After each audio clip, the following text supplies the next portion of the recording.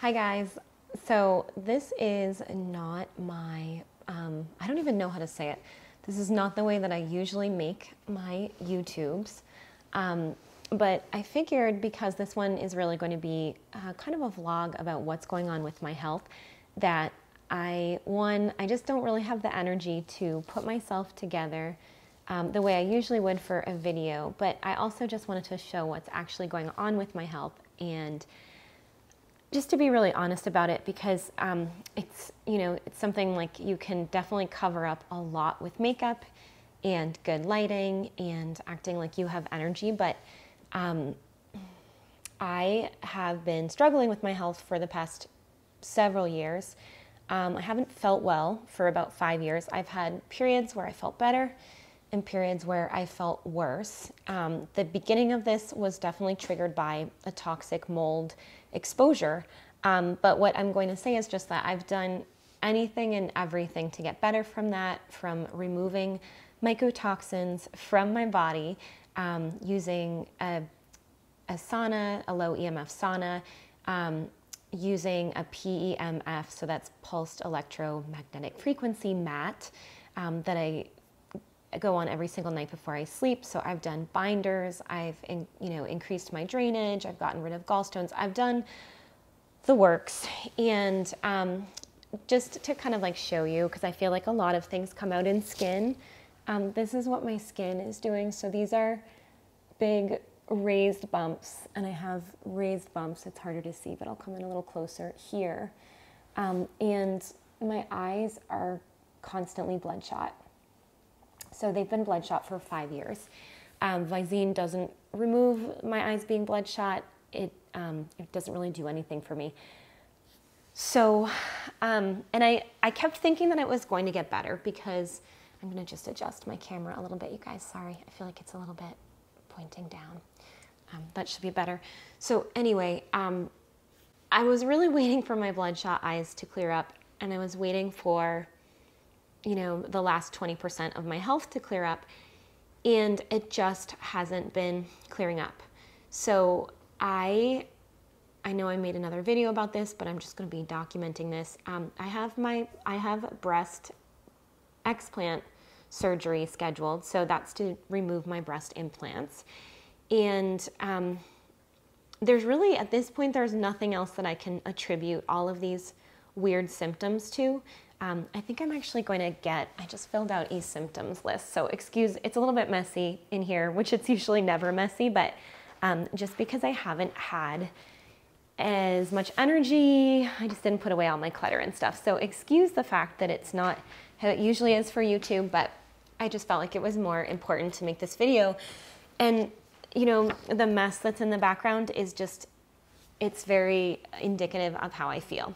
Um, so I got breast implants nine years ago, and I heard a lot about breast implant illness, and I don't know why, but I just didn't think it could be true. Maybe I didn't think it could be true because I wanted to keep my breast implants, um, but it just didn't seem like it could be true because so many people have them, and um, it's hard to understand um, why they would allow people to get them if they could have such bad side effects. So, and I will be fine. I'm getting my breast implants out, and I truly, I know with all my heart, and I'm going to manifest health. I know I'm going to get better after I remove them. Um, but I think that it should definitely be taken more seriously because you know it's not something it's not like a pill that if you have a reaction to it you can just stop taking it and that reaction goes away it's something that is implanted into your body and they should be so safe and so studied and um, they shouldn't be failing and making so many women sick. I mean i think i just heard a statistic and it's 1.8% of women that get them have a reaction. In my mind that's only the women that figure out why they're feeling bad. Um, i have a lot of very very smart friends and several people told me that they thought that it might be my implants and i really didn't want to believe them and I'm lucky because I had people telling me, but not every single person has that in their life, right? And not every single person can get to the best surgeon. So I'm booked with the best surgeon to take them out. And granted, it's going to be really expensive, and I haven't quite figured out the whole expense. But I just know that at this point, I'm I'm doing whatever it takes, right? So, okay, this is a list of common breast implant um, symptoms. I got it from the Breast Implant Illness Board. Um, it's uh, healingbreastimplantillness.com. It's been a really good resource, uh, resource for me. They also have a Facebook page, and that's been really helpful. And it's really stunning, and it makes me really sad to see so many other women experiencing this issue. So, anyway, sorry that it makes me so emotional, but um, I'm really upset that other people are going through the same thing. And I'm also really emotional right now because I just I just don't feel that well. And I, I will say, I think something changed with my implants because they have been giving me burning and painful sensations. So that also adds to not feeling well. But so this is the breast implant illness symptoms. And I checked off the things that I'm experiencing now um, fatigue, brain fog, memory loss, cognition problems. Um, I have trouble remembering words a lot. And, you know, people kind of laugh when it happens, but it's happening all the time now, um, at least once a day, which is really unusual for me. Um, muscle pain and weakness, I just don't feel I'm not as strong as I used to be. There's a massive difference in my strength. Um, joint pain of neck, um, shoulder, back, hip, knee. So, definitely for me, my feet, my knees, my back, my neck. Um, hair loss, yes. I will say that some of my hair seemed to grow back in, but I've also been doing um, a million different things to make it more healthful and do everything I can. Um, premature aging of skin. And yes, am I 45? Of course. But um, my skin changed so much in the last five years. And I know it's going to change back after I take these implants out because the constant inflammation is definitely causing early aging. Skin itching and various rashes. I mean, the bumps on my face are a rash. Um, I have bumps. I have like a, a bump that formed here. Um, I have a big bump. You can't really see it. But on my ear, there's a big red bump right here. And then I won't show you, but I have bumps here and bumps on my back as well. And there's some weird bumps on my legs too, which is great. Um, inflammation, I have tons of inflammation, poor sleep, dry eyes, adrenal fatigue, um, low libido. I actually have no libido, it completely dropped off. Um, slow healing and easy bruising. I had something on my elbow this summer that bled for six weeks. Um, throat clearing and difficulty swallowing, yes, um, for sure. Nausea, leaky gut, SIBO, yes. Irritable bowel syndrome, night sweats, candida, food intolerances, heart palpitations, frequent urination, um, shortness of breath, definitely. I had a lot of breathing problems in Aspen, um, pain or burning around implant, uh, liver problems, kidney problems, and gallbladder problems, yes. Um, anxiety, you know, and I don't know, I don't know if the anxiety is caused by the implants or if it's just caused, I, I don't really know where the anxiety is coming from, but I do think that anxiety can be caused by inflammation.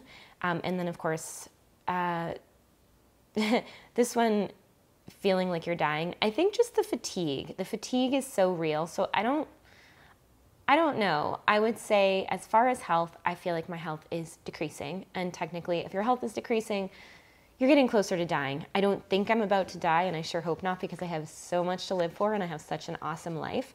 Um, but I definitely don't feel like I'm getting healthier and, and living more. Um, fatigue is the biggest thing. So the past few days, I've been doing everything I can just to rest and take it easy. And I'm just still so, so tired. Um, I had made this a lot better after I treated myself or got treated from, um, from the mold exposure, but I could definitely tell that there was something new and there was something that was still bother- bothering my body. So it is definitely the breast implants. Um, so I just wanted to come on. I know this isn't like my favorite kind of video to make, but I also wanted to just have this video because I know that um, I'm going to heal after I take out my implants, and I wanted to document it, how I was feeling now, so that I could compare the two. Um, so it's just been a really huge thing. I don't think it's something that I can afford to put off for my health. And I just feel so sad when I think about that I did this. So, why am I sharing this? I'm not sharing this to make you feel bad for me. You have no reason to feel bad for me. Don't don't cry for me because I'm crying. But if you are thinking about getting a breast augmentation, just know that at some point this most likely will probably be you as well.